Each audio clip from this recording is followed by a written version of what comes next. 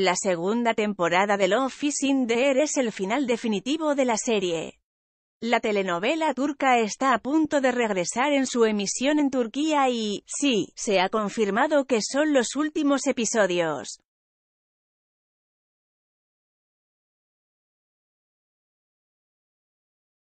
El próximo 9 de junio se estrenarán los últimos episodios de Love is in the Air.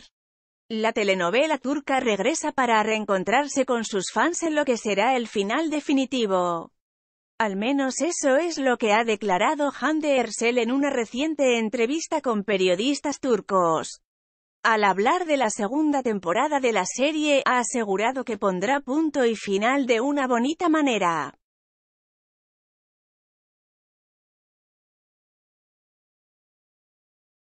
Se ha planeado grabar 11 episodios más y terminar esta historia de una bonita manera. Nunca he trabajado en un papel así, y ha declarado la actriz, según Recógete a mí.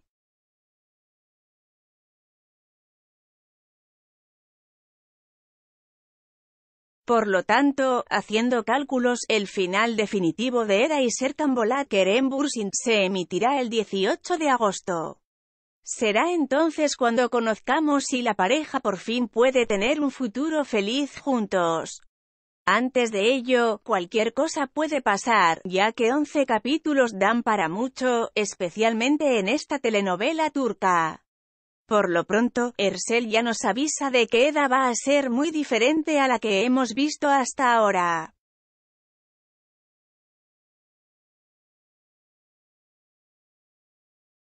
En la segunda temporada de is in the Air nos encontraremos con unos protagonistas muy cambiados. Han pasado varios años, están separados y Eda tiene una hija cuyo padre, al parecer, es Erkan Bolat. Será el momento de que padre e hija se reencuentren y recuperen el tiempo perdido. En el tráiler publicado esta misma semana, ni el empresario ni la pequeña parecían muy contentos con la presencia del otro. No me gustas en absoluto, ser tan volat, le dice la pequeña a su padre. El sentimiento es mutuo, señorita.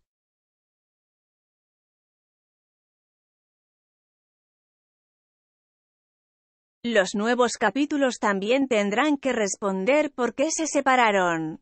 Los dos avances que han publicado no despejan la incógnita. El primero de ellos señala que fue decisión del empresario, ya que la paisajista le pregunta, ¿no dijiste que no querías saber de mi vida?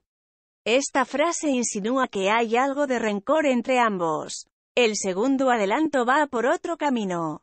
Cuando Eda y Serkan se reencuentran por accidente, Serkan se pregunta si no será su tumor el que le está haciendo ver alucinaciones. En este caso, parece que la reunión es totalmente inesperada y no tiene por qué ser desagradable.